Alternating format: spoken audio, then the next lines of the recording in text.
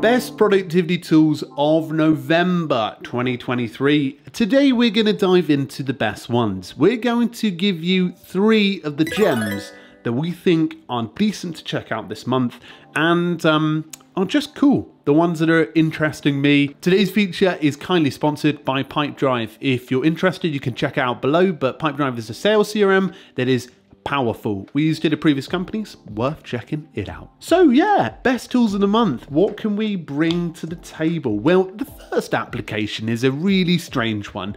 A million people use it and I only discovered it a month ago. That's weird. And strangely enough, this is like Cluedo. Strangely enough, they actually work in the same offices that I visited Notion in when they were a 13 person team. So this is weird. But now this company is doing very well. It's called Skiff. Have you heard of it? Because I actually didn't hear of it till a month ago. I'm really bad, really. That's that's awful to be honest. A million people are talking about it and I'm not covering it. So anyway, Skiff does a few things. They have four products within their experience and it's really well priced for what it is. You can do calendar, email, pages, and drive. Let's briefly go over them. Email is uh, like an email application. You get your own at skiff.com domain. Then you get a calendar, which helps you to do calendar. Uh, pages allows you to take notes or maybe even write out documents. And finally, Drive is like Drive, a storage location. But what's interesting about this is it's all security focused. They encrypt everything. It's really heavily focused on making sure your data is secure and it's even got a lot of Web3 blockchain type of integration connection things. But it's actually being used by a lot of people and um, it is free to get started and set up. There are obviously limitations, but it's got a decent pricing starting from $3 a month, which is fairly reasonable. So Skiff is on my radar. It's something we've covered on Toolfinder, but it is crazy how this application has come onto the radar. So app number two is Rise Calendar. Now, Rise Calendar landed on my desk a few months ago.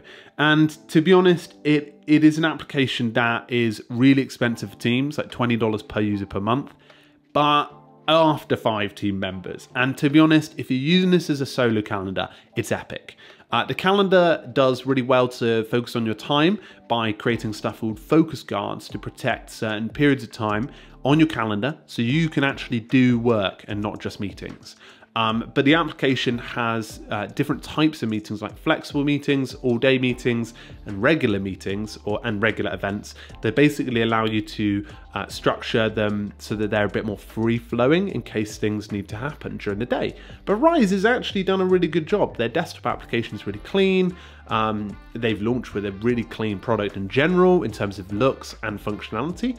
And to be honest, I'm really impressed. And you can use it with up to five people. So to be honest, that's pretty good for small teams, but obviously much pricier for teams that are using it actively uh, for remanaging and organizing meetings. You can schedule meetings in it, which is pretty decent. And you can find out more about it on Toolfinder below. And finally, one that I actually checked out last month, I'm yet to post a full deep dive. Um, I've got the review ready. It's Notesnook, and I was, again, like Skiff, talked about Notesnook for months, and it was like, Francesco, freaking review Notesnook. and anyway, Notesnook was just one application that I was like, I need to check this out. And it's a really basic application. It focuses on security and it's very much like standard notes. Like it's if you looked at it, you wouldn't glance again, glance again because it's very simplistic as an application, but it has a high level of encryption and high level of note security, and their advanced pro function is priced at $50, which is quite a decent pricing on the market for security focused applications because standard is twice that pricing almost. Um, but it, again, it really locks in your notes in terms of making them proper secure. Um, it's quite high level security. I don't understand it because it's big words, but at the same time, it really does um, protect your information and secure your notes that you're writing in.